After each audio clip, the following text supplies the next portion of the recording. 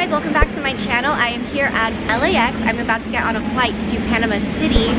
So I'm on a red eye tonight and I want to land as fresh faced and dewy and hydrated as I can. As you know, flights are super brutal to the skin. They dry the crap out of my skin. So I'm going to be doing a skincare routine for you guys and we'll see how I land. I actually land at 6 a.m. I'm on a red eye tonight, so it's gonna be a challenge. Let's see if I can look decent when I land. So let's start. I like to start my skincare routine about halfway through the flight. One, because I feel like it's around halfway that the circulating air has sucked my face dry. And also it's around that time I get a little bit bored. I always start by making sure my canvas is as fresh as can be, so I love to use these wipes. They are just the Target version of the Neutrogena wipes.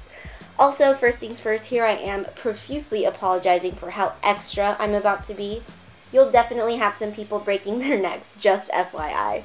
I had actually applied the Summer Fridays jet lag mask right when I sat down that you guys didn't see. So I'm just making sure that my skin is hydrated throughout the flight and I'm just wiping all of that off before I jump into more skincare.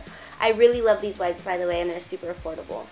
Next, we're moving on to my favorite step for in-flight skincare things, a sheet mask.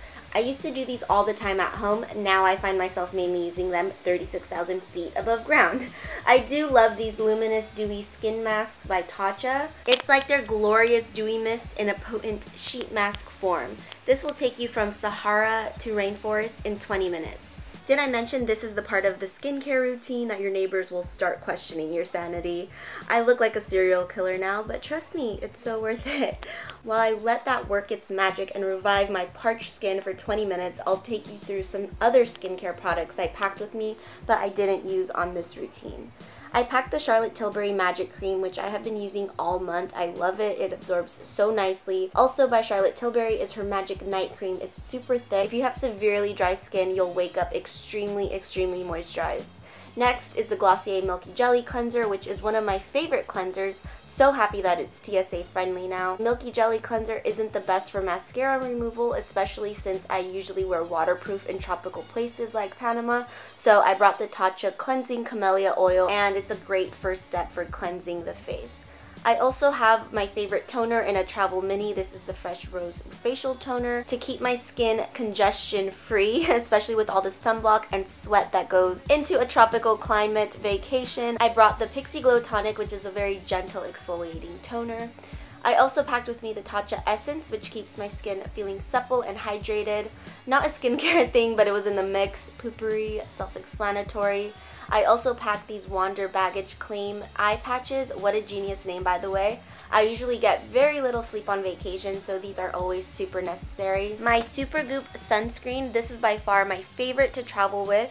It's a sweat-proof, waterproof SPF 50 easy compact bottle. It's so awesome. I also like to add a little bit of no makeup makeup favorites when I land in the daytime. So I pack the Charlotte Tilbury Wonder Glow. Gives your skin an instant refresh. The light reflecting particles help fake filtered looking skin. And also the Glossier Skin Tint. Let me say I love this improved formula so much. And these are all my in-flight friends that I'm traveling with. And friends is always comfort food on a plane. So now it's time to take off this mask. It's so crazy how dry the mask end up. That's how moisture sucking the air is on a flight. So you didn't think it was just going to be a sheet mask and we're done, right? Let the hydration layering begin.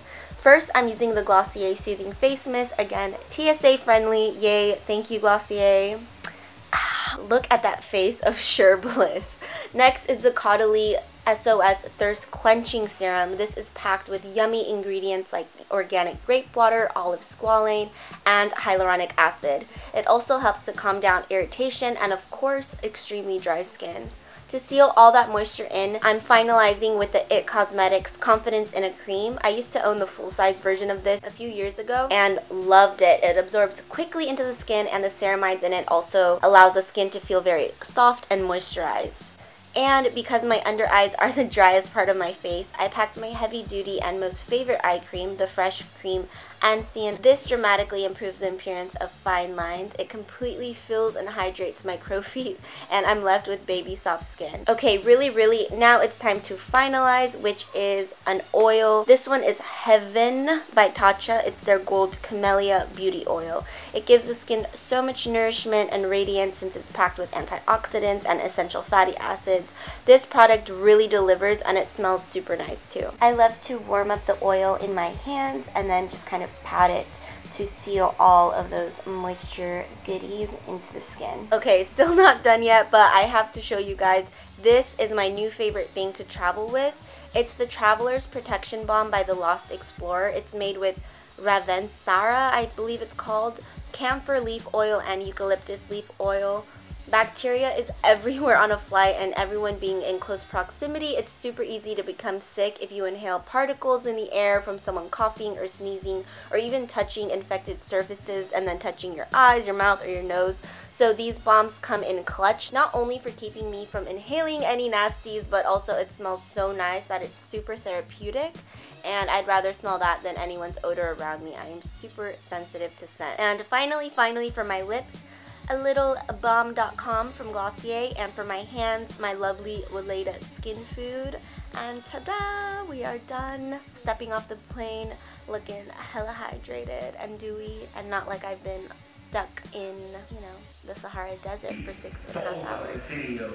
I feel like my face is so glowy. Oh my god, I'm like really impressed. That's gonna be the new skincare routine for sure. I'm just gonna add a little bit more glow with the Charlotte Tilbury Wonder Glow. A little bit of the Glossy Stretch Concealer just to look alive and well. I'm like really happy with how moisturized my face actually looks after that six and a half hour flight. This is just gonna help give us the appearance of rested skin since I didn't sleep too much on the plane.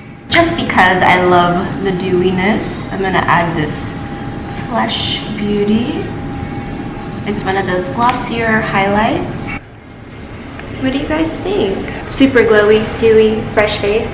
I'd say an 8 out of 10. Alright. Um, stay tuned for the next adventures here in Panama and I will see you guys in my next video. Bye!